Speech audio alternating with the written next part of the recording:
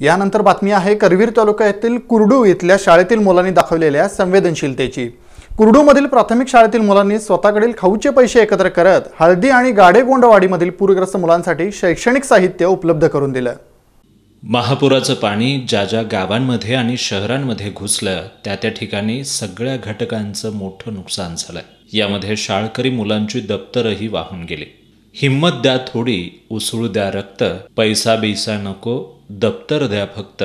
या कवी अशोक कोळी यांनी व्यक्त केलेल्या भावनांनुसार या पूरग्रस्त विद्यार्थ्यांना आता समाजातल्या लोकांनी पुढे येऊन मदत करण्याची गरज आहे. या पूरग्रस्त विद्यार्थ्यांची ही गरज ओळखूनच विद्यामंदिर कुरडू इथल्या विद्यार्थ्यांनी खाऊच्या पैशातून हळदी आणि गाडेगोंडवाडीमधल्या शंभर विद्यार्थ्यांना शालेय साहित्य उपलब्ध करून देत आपल्यामधील जाणीव समाजासमोर आणली आहे.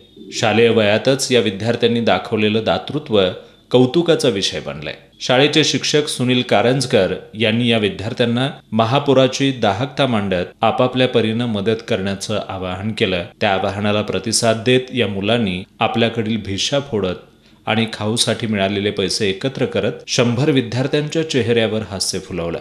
मुख्याध्यापक बाळासाहेब कांबळे शिक्षक सुनील कारंजकर अलका कारंजकर नागाप्पा मुतनाळे यांच्यासह कुरडू शाळेतील मुलांनी हळदी आणि गाडेगोंडवाडीमधील पूरग्रस्त विद्यार्थ्यांना शालेय साहित्याचं वाटप केलं.